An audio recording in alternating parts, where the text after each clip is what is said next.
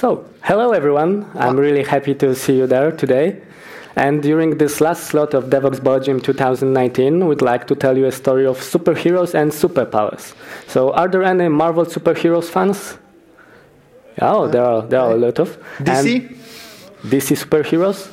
Oh, the okay. dark ones. Yeah, cool.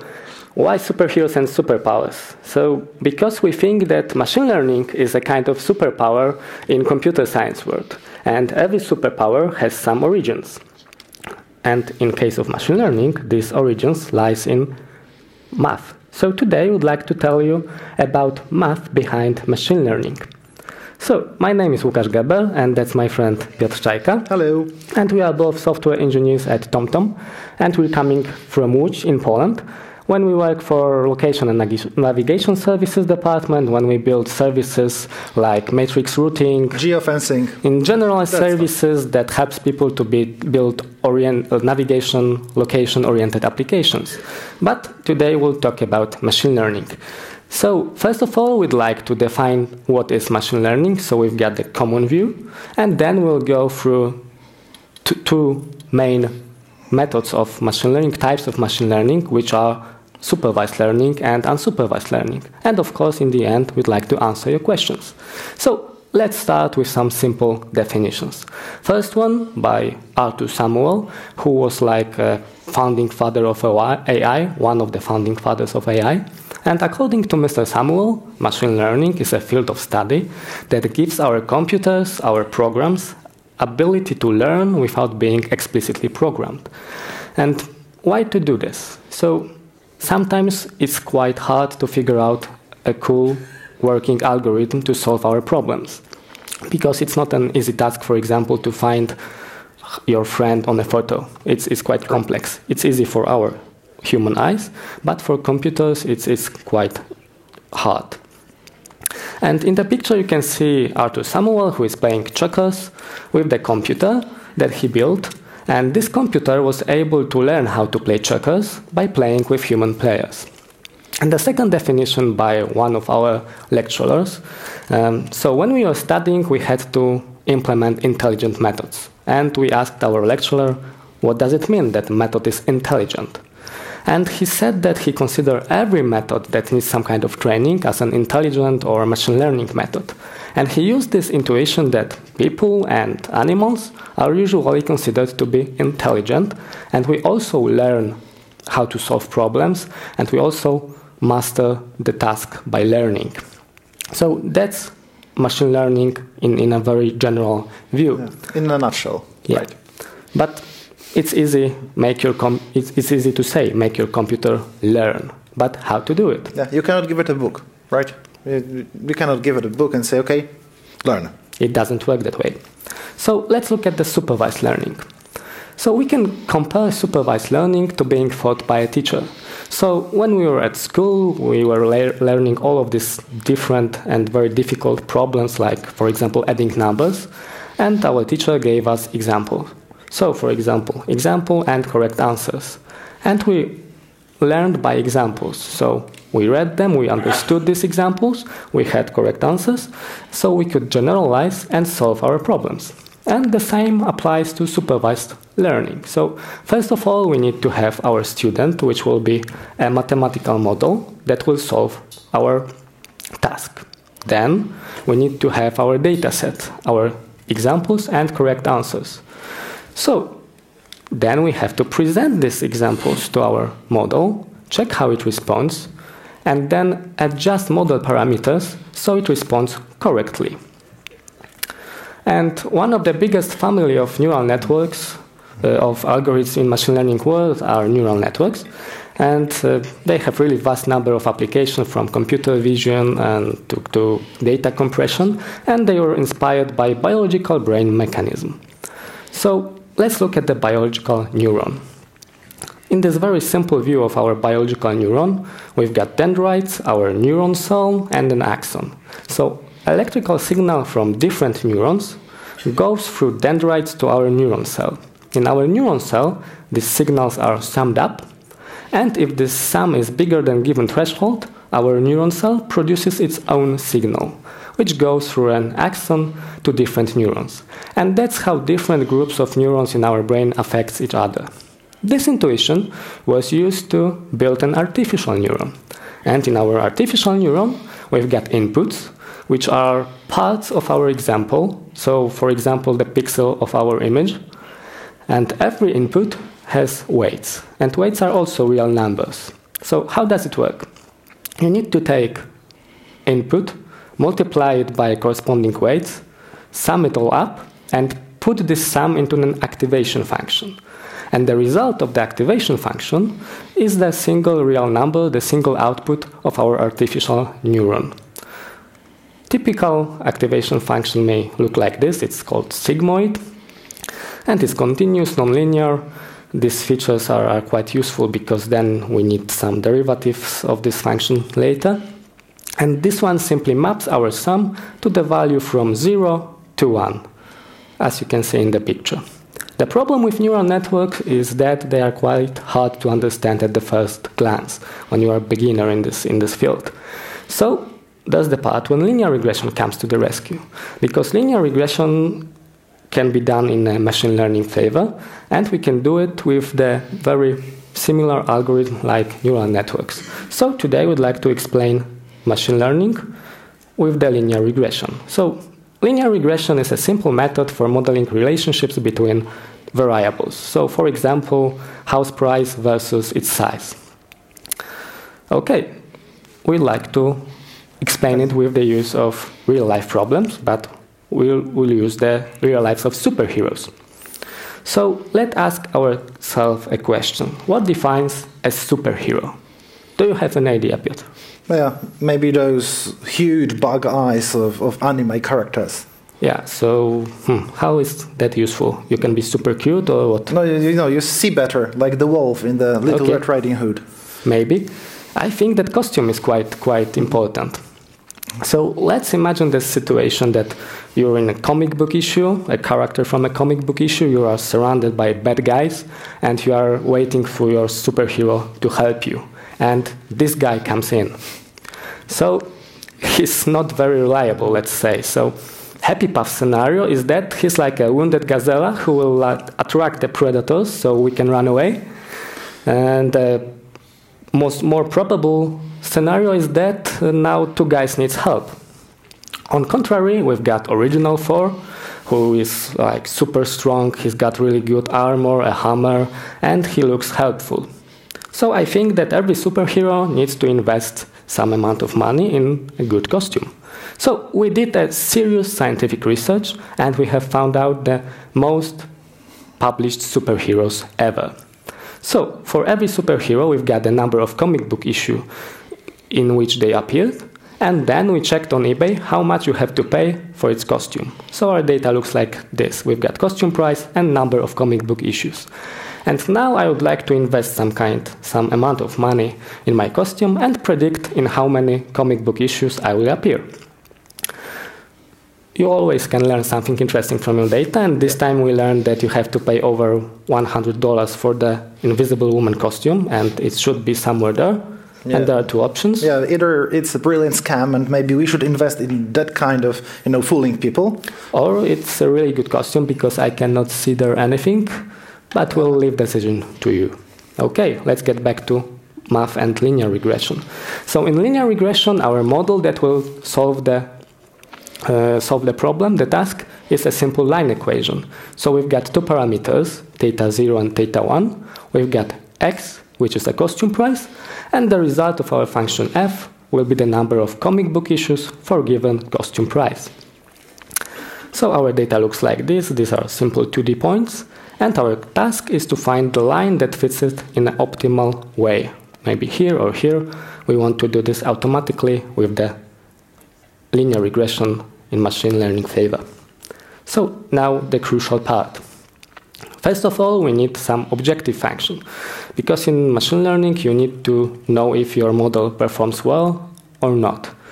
Here we've got this, this function, and it's a simple sum so we need to take every point from our data set, calculate the value of function f for this x value, subtract the expected value, so y, then square it all up and add to our sum.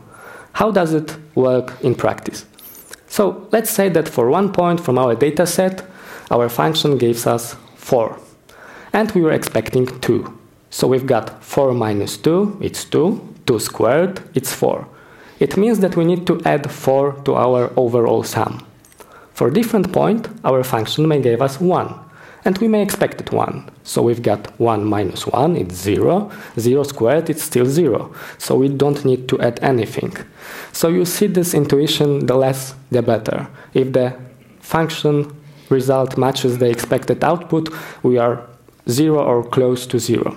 It means that to find the optimal parameters, we need to minimize our objective function. And we will do this with the gradient descent, a superhero of machine learning algorithms, because the idea of gradient descent is commonly used in much more complex methods, also in neural networks.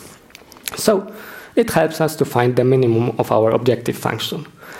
In our case, it will be quite simple because we need to iteratively update the function parameters according to these parameters, uh, to these formulas. So we've got two formulas for theta 0 and theta 1, and we simply need to subtract alpha rate, which is a small real number, multiplied by these formulas. And these ones are derivatives of our objective function with respect to theta 0 and theta 1. We've got two parameters, so we can have two derivatives. And the set of derivatives in mathematical world is called gradient. That's why the algorithm is called gradient descent. Why we need derivatives? So derivatives gives us information about how our function is changing. So let's look at the graphical example. So let's say that's our simple simple objective function. It's a parabola, and it depends only on one theta in this case. And at this point, if I calculate the derivative of this function, it's positive. So in our formula, we'll have minus alpha times positive derivative. Positive, uh, negative times positive gives us negative, so we need to subtract something from our theta. It means we are going to the left. Here the function is still increasing, so we're subtracting again and again until we reach the minimum. For this point, on contrary, derivative will be negative because function is decreasing. So we've got negative alpha times negative derivative. So we've got negative times negative, it means a positive value. So I need to add something to my theta.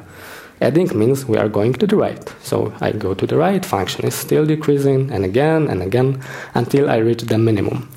So that's the main idea behind gradient descent and, and learning your algorithm. So we are like walking down the hill in the our function space.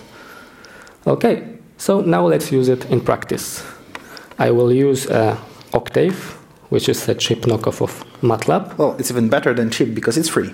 Yeah, actually, it's true. So, and it gives us some built-in mathematical apparatus to operate on matrices and so on.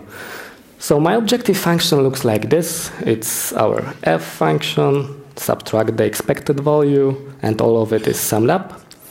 And gradient descent algorithm is simple for loop and this is how we update our theta parameters. I've got only one theta here because it's a vectorized form, so underneath there are two values in this variable. And our main code, so I simply load our data, x and y's, extract them, initialize theta, set alpha to this value, and I will run the gradient descent for 1000 iterations. I run it, and it should give me optimal theta, I hope. So Let's run it now. And here we've got our optimal thetas, but it's not very informative, so let's plot result. And here we have our optimal function. So now our superhero or, or we can use it, and let's say that I would like to invest $1,000 in my in my costume. Now I can take my function, my prediction, and it says that for $1,000 for my costume, I should appear in around 8,000 comic book issues, which is a good result.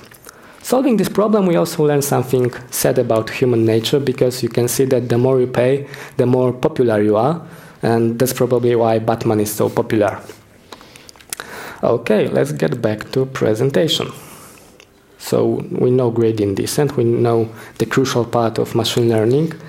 And linear regression is cool, but it's linear. So let's say that we'd like to distinct Marvel superheroes from DC superheroes. Ideally, if a data would be very simple, we could use linear methods like this. But in real world, data is very complex, it's mixed, it looks like this, and we need nonlinear methods. And that's the part where neural networks comes to the rescue. Because neural networks can be nonlinear. So typical simple neural network look like this. So we've got input layer, the, the yellow ones. This neuron simply passes the parts of our examples to the hidden layers, the blue neurons. And here you can see we've got this nonlinear activation function, sigmoids. And the outputs of hidden layer are inputs to the output layer, the red one. And the output layer produces the final output of our neural network. We also have these green guys with plus one, they are called biases, and they give our function, our neural network, some kind of flexibility while fitting to the solution space. So it can crawl through, through the space. And how to train such neural network? First of all, we need to randomly initialize every weight of every neuron in our neural network. Then we need to present the examples. So we take the first example, we calculate the activation function for the first neuron, for the second one, and the third one. Then we pass these results of activation function to the output layer. We also calculate the activation function for the output neuron, and we've got our final result of our neural network. And then we can calculate an error. We'll need this error to train the network. So we'll use the gradient descent algorithm with a slightly different formulas that will incorporate the derivative of the sigmoid function. But the main idea it's the same that I showed you with the linear regression. And when we've got this error, we need to push it backward through the network and using gradient descent, update every weight of every neuron as, as we updated our theta parameters in linear regression. But there will be a lot of more numbers to update as neurons can have more weights. So we've got our error and we push it backward through a neural network. And while doing this, we are updating weights of our neurons. And that's how we train the neural network. Okay, so when we finally understood, or at least we thought that we understood how neural networks work, we were quite cocky about it and, and very happy. And then one of our lecturers came and she said something like, Come on, guys, really, really? These are, it's not magic. It's neural networks can do magical things, but underneath there is only a math.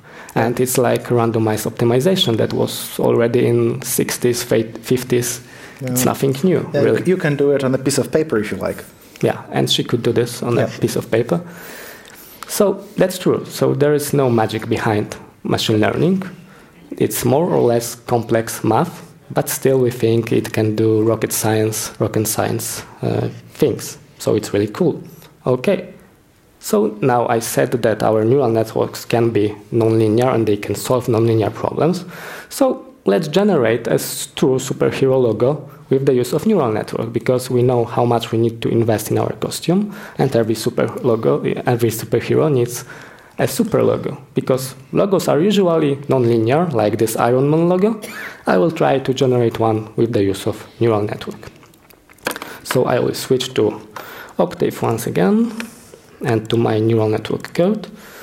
And now I will use also 2D points, so uh, it should be plot grid. It will be a grid of 2D points, our data set, training data set. And every point will have a label. So we've got X, we've got Y's, and we've got labels. And labels will be 1 or 0. And then I will draw points with different colors. So ones will have different colors from zeros. And I prepared this, this data so it should reflect some superhero logo. And I hope my neural network will learn it correctly, but we will see. Okay, and my code looks like this. So I simply extract x and y from my logo points. I will train my neural network for 1000 iterations and I will use 200 hidden neurons and only one output neuron so I because I just want to have 1 or 0.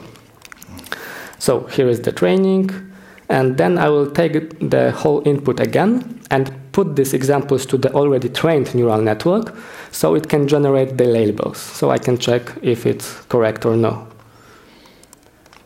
Okay, so let's run the code, generate logo, and now all of this gradient descent stuff, activation function calculation is happening. Magic. Yeah, and it's already trained. So now let's plot our data. So I get input and predicted values. And no, no, no, no, no. Huh. Yeah. So our neural network learned how to distinguish points that are inside, let's say, Batman equation from the points that are outside of it. And that's, that's what I wanted. That's how I prepared data. So it did a good job.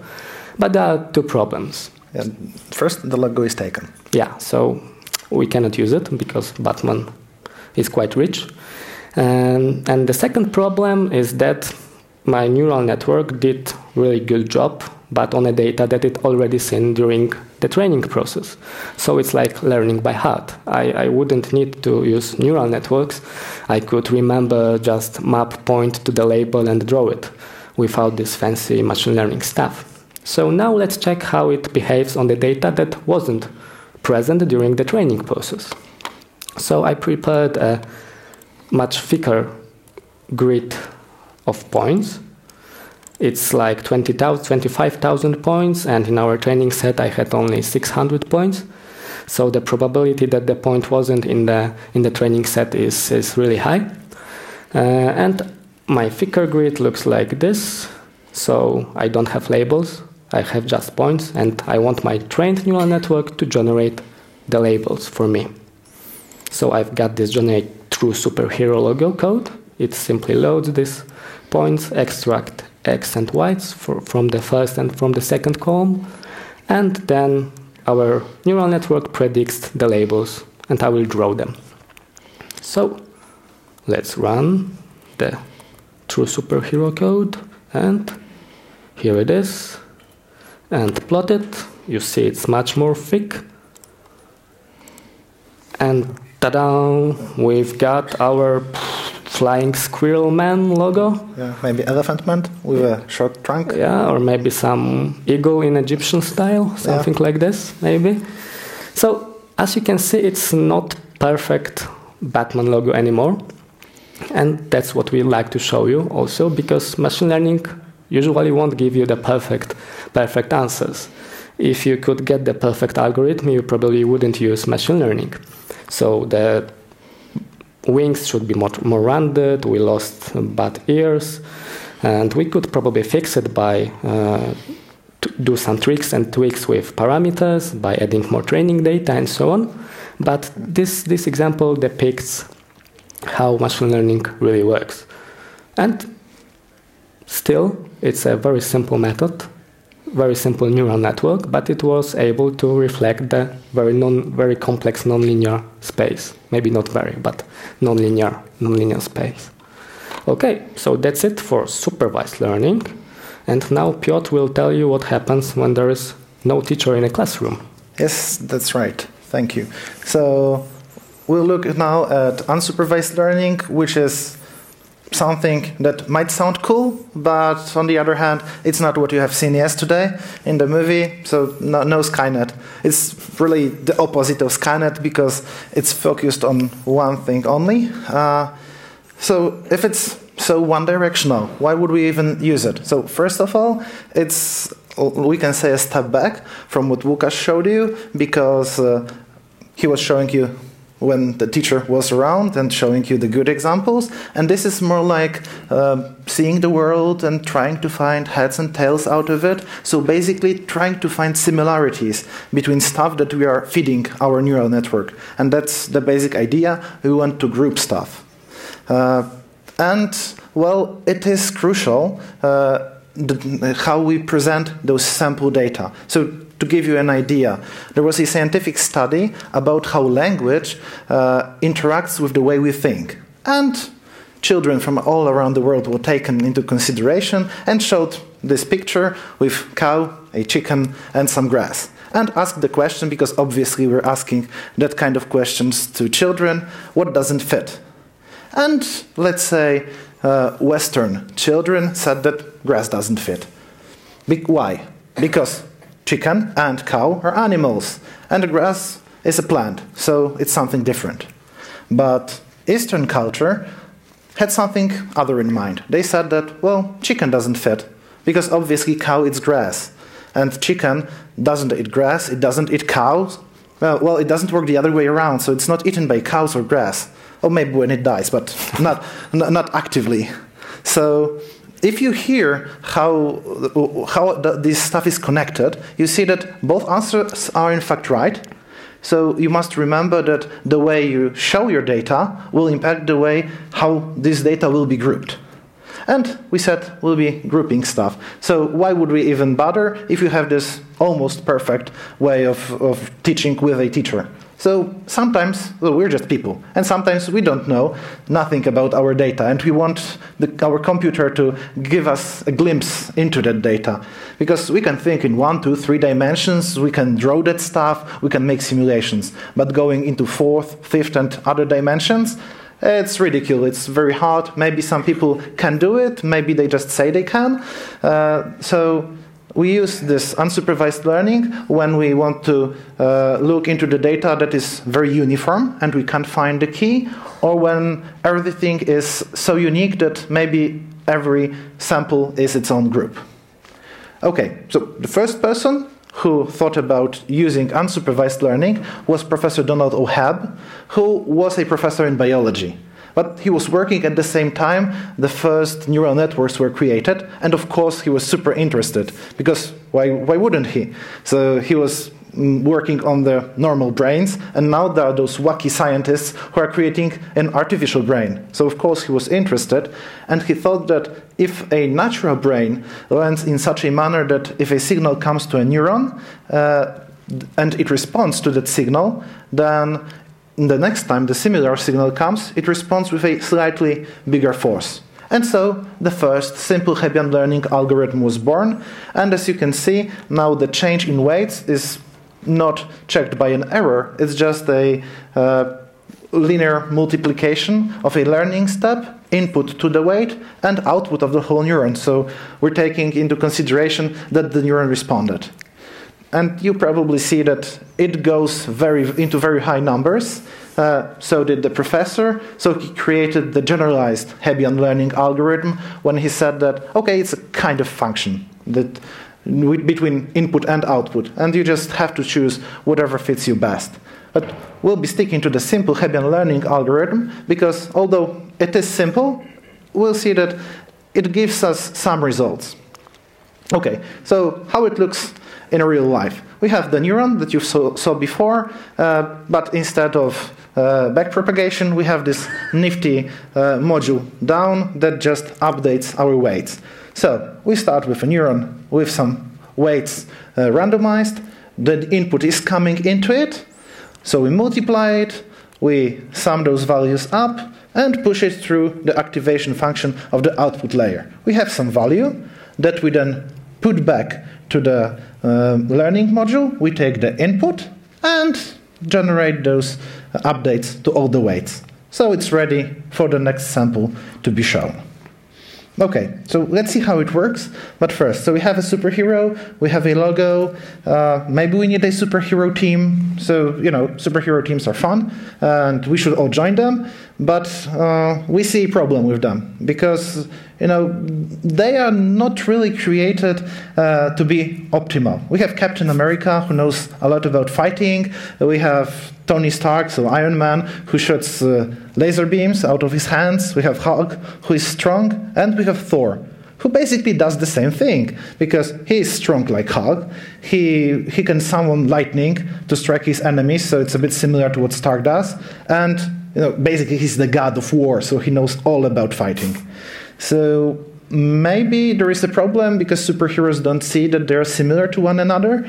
And if we want to join some team, it's the best to create a team of our own. So we decided to get some superheroes and see which superheroes are similar to another. So we will group them into we will have four groups. We will group them into four groups, and maybe then we can take one superhero from each group and create a kind of optimal squad or something. Do I understand correctly that you want to build some kind of super duper squad, like in a Deadpool 2? Yeah, yeah, cool, something like that. And to do that, uh, so we need a representation of our superheroes.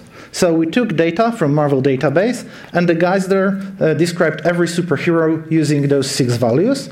And it's very convenient because we can use those to create the unique vectors that describe those superheroes. Of course, uh, we won't take into consideration their core superpowers, but we will see on general what's, what it is about. So let's go back to Octave.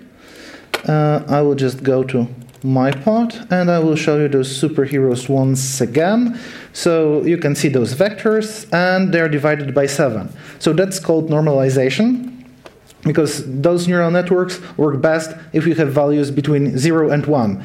And we know that the maximum value in uh, those superpowers is 7, so we can easily do it like, like this here.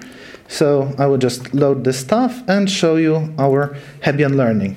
So it's pretty trivial because we're using the same neurons as we used for supervised learning. So to the learning vector, to, to our uh, sample, we're adding bias.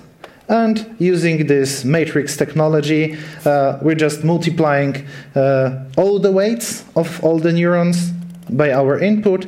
Uh, we're summing it up, pushing it through sigmoid, and then we're taking the winner. So this is used mainly because we want to see which neuron responds for which superhero. So then we will have those columns, and one means the superhero's, superhero belongs to the given group, and, and zero that it doesn't. And the winner is the guy that responds with the bigger because, force? Yes, yeah. that's true.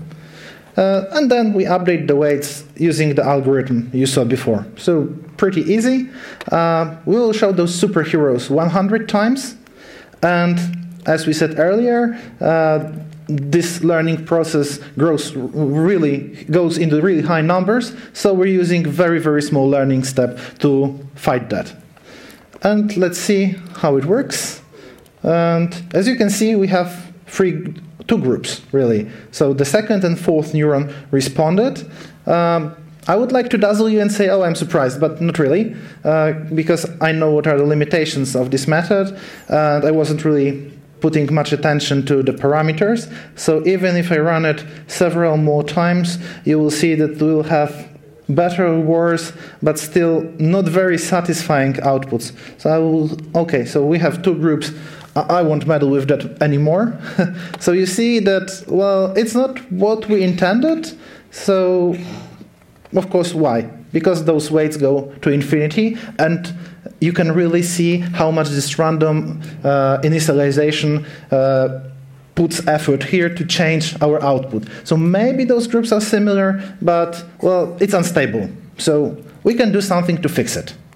And to fix it, we'll give it some more freedom. Because now we'll go to self organizing networks, which is another way of uh, that, uh, that kind of learning. Uh, we won't let them unionize, but they will have some freedom, so to say. But now we won't use, well, classical neurons we will leave just this weights vector that will be a kind of agent. We can still call them neurons, but they will be more like agents now that are trying to become a everyman of a group they represent. So the basic idea is to change this weights vector in such a manner that it is the closest vector from all the other neurons uh, that is the closest to all the examples it represents. So it creates a kind of group around it itself. And it can be done in two ways. So there is a winner takes all algorithm, which says that, okay, we see which one performs the best, which is the most similar to the sample, and we let it change those weights. Or winner takes most, uh, in which we create a kind of ranking, so from the best to worst, and every neuron has some ability to learn, but the further away from the example it is, the, the less it learns. So to give you an idea how it looks, if we have a neuron and an example, we calculate a partial distance between each of the values, and we use those partial distances to create to, to calculate the distance. So we use Euclidean distance. You can use whatever you like. Euclidean is just very, very fitting here. And let's say that square root of 5 is the closest distance. So then we create this learning step, which is just learning coefficient times partial distance, and we subtract it from the original neuron weights. So it becomes a little more similar to, to the example. And we run our uh, learning again. To give you something more, more uh, visual, if we are to group those superhero logos by color, those neurons in the middle, they will be moving around the solution space until they find a niche from which they don't move as much now. So this is the sign that they have formed, they, they became those everyman, they formed groups. Okay, so let's come back to our superheroes again and see if using winner takes all or winner takes most fixed something. So for winner takes all, we have quite different algorithm than for Hebbian learning because we're taking, of course, the learning vector, but now we're just uh, calculating our distance. And this winner neuron, the uh, winner uh, vector that we were using previously just to show uh, our um, output will be used in learning. So now we can ensure that uh, the best neuron is the only one that will be learned, and the others, because they have zeros, uh, they won't learn at all. And for the winner takes most, well, as you can see, it's pretty similar to winner takes all, but now we're creating this neighborhood. So we're using exponential function that takes the distance into consideration to see to, to, to create that ranking from the best to the worst. And now we use that instead of just ones and zeros to uh, change the, the mm, learning speed of our neurons. And let's just quickly look into winner takes most testing. So we'll teaching our superheroes uh, 100 times once again, but the uh, learning step is a bit higher because it is more stable. So let's just run it and see. We have four groups now, which is cool. I see that some groups aren't very nifty, but you will see that it's common that it's fixed now.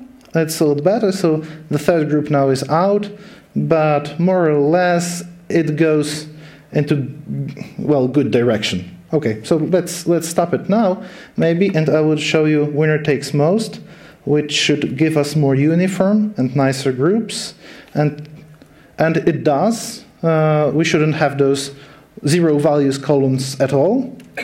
But okay, now we can see that we just divided the superheroes in some way. But how do we prove that this division is sane in any way? So we can add our superhero to the list.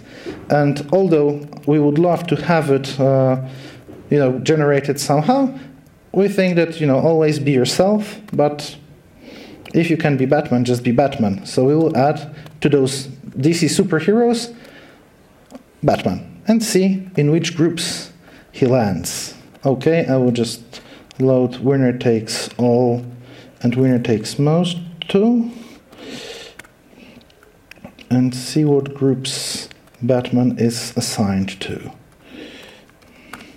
Okay, so it's the third group, and for winner takes all and winner takes most, it's the fourth group. Okay, so let's just scroll back to Hebbian learning. Okay, that's the last one.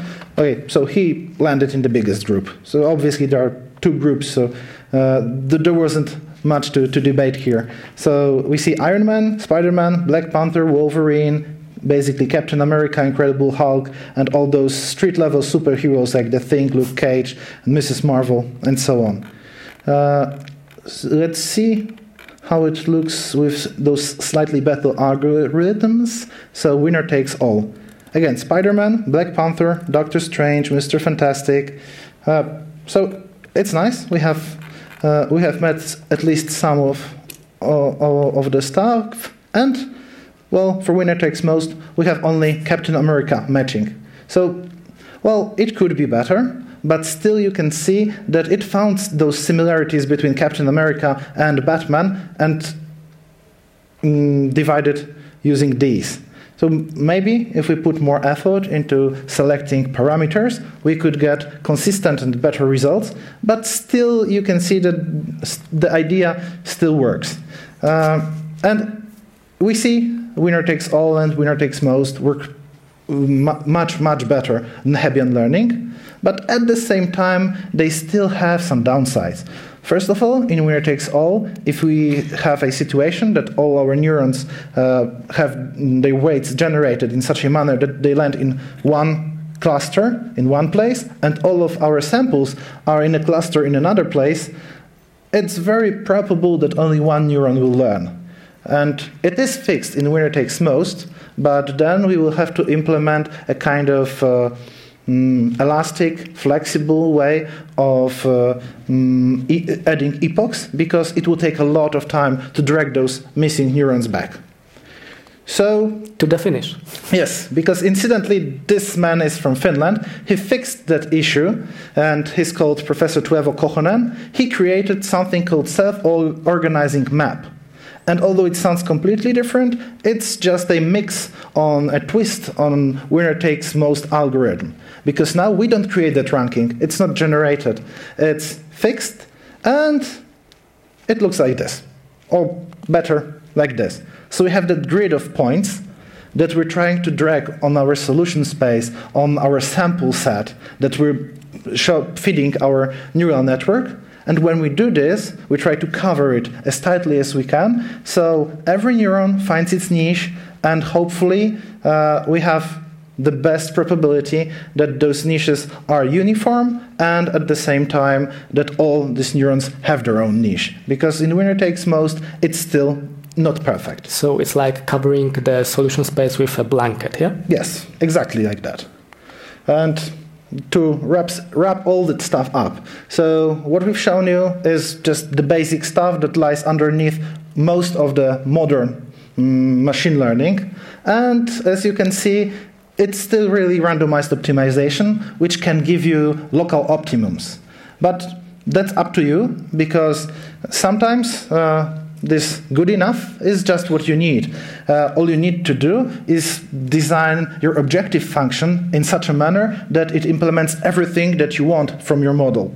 Because then you will get exactly that. You won't get the perfect stuff that will do everything. But on one hand, you might not really need that, or it might be not possible to then utilize that super model. So sometimes good enough is really yeah. the best. Is that what you can afford? That's true. And well, we're coming to an end. Uh, you can find our presentation under the link uh, from the first bullet point. We'll also put it on our Twitters. Uh, there is a course on Coursera for machine learning, which uses also Octave, uh, and it's free. The second one for deep learning is a bit, uh, you need to pay, but you can see the videos for free. You can also check those trainings from Amazon and a lot of nice books that we have here. And what's and more? If uh, you have any questions now, that's the time, or you yeah. can go to us and, and feel free to talk to us after the presentation. We'll be around the venue. Yeah, for, for at least some time. Yeah. Still. So we'd also like to ask you to rate our presentation because we really appreciate your feedback. And that's all for now. So thank you very much for your time. Thank you.